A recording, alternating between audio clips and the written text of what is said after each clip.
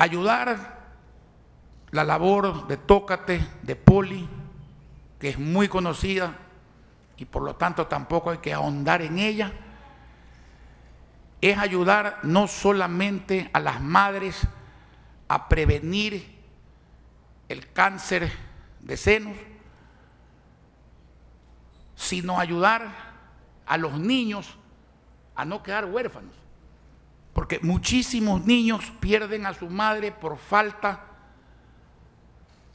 de prevención, yo diría de curación, porque quien ignora lo que tiene no se cura pudiéndose curar, y luego los niños quedan huérfanos. De manera que con Poli hemos conversado sobre la necesidad de digitalizar el mamógrafo. Eso vale 95 mil dólares y la Fundación Teletón por la Vida se las va a entregar esa cantidad hoy.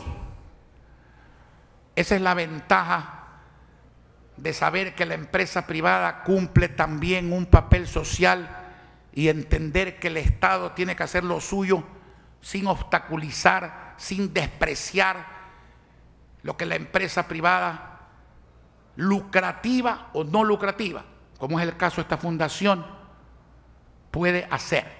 Si nosotros hiciéramos este trámite a través del municipio, que como institución pública es bastante rápida, nos demoraríamos mucho más que al hacerlo a través de una institución privada.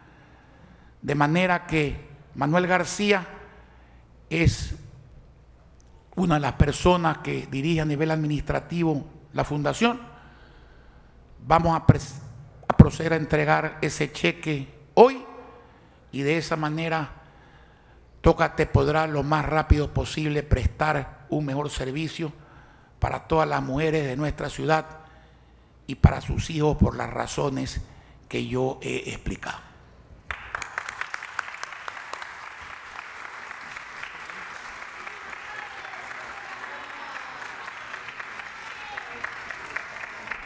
Muy buenos días, señor alcalde. Muy buenos días a todos los medios de comunicación, a todos los profesionales de la salud que hoy nos acompañan y que trabajan con nosotros en nuestros eventos. Buenos días a cada una de esas mujeres que se han sido beneficiadas gracias al apoyo que hemos contado con el alcalde Jaime Nebot desde el primer día que comenzamos hace siete años atrás.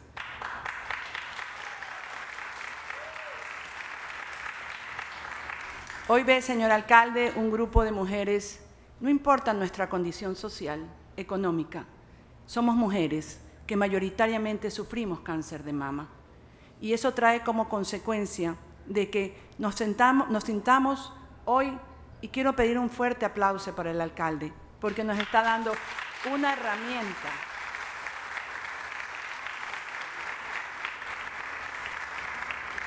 necesaria para poder diagnosticar a tiempo y salvar una vida, como usted lo dice. La muerte de una madre desbarata una familia y eso es lo que estamos tratando de evitar. Queremos agradecer también a cada uno de los guayaquileños y ecuatorianos, porque no solamente son guayaquileños, que han participado a través de su aporte con la Teletón con la vida. Hoy nos están beneficiando la Fundación Poliugarte y nosotros devolveremos este beneficio en favor de las mujeres no solamente pobres, porque aquí no es de pobres o ricas, aquí es de solamente ser mujer para poder sufrir esta enfermedad. Es por ello que quiero agradecerle, ya que la digitalización para el mamógrafo que nos van a dar nos va a traer como consecuencia una mejor tecnología, una ampliación de la visualización de las placas mamográficas, que va a permitir a nuestros profesionales que hoy nos acompañan poder ver con precisión una lesión, ver los bordes de una microcalcificación, no perder el tiempo en un momento dado para que la mujer pueda retirarse y no tener que tratarlo a través de procesamientos o químicos, almacenar a través de los equipos y no a través de placas. Y lo más importante, vamos a poder hacer 85 imágenes por hora.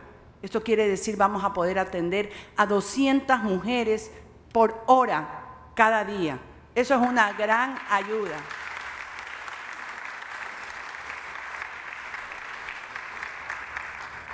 Solamente me queda decirle a, nombre de todas las que formamos parte de esta fundación, gracias por darnos la mano, gracias por ayudarnos, porque necesitamos autoridades responsables, autoridades preocupadas por los demás y autoridades preocupadas por la base fundamental de la sociedad que somos nosotros, las madres las mujeres.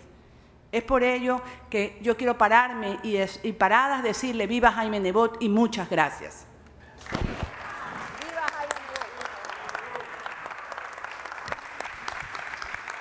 Mil gracias. Yo me voy a parar, pero solo para poner el visto bueno en el cheque, nada más.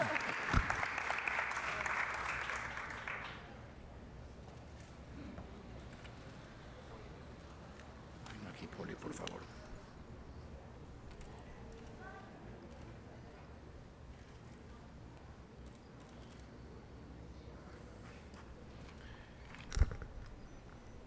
Con este documento, Poli puede acompañar a Manuel García aquí mismo a la tesorería de la fundación y retirar hoy día mismo su cheque de 95 mil dólares para digitalizar de inmediato el tomor.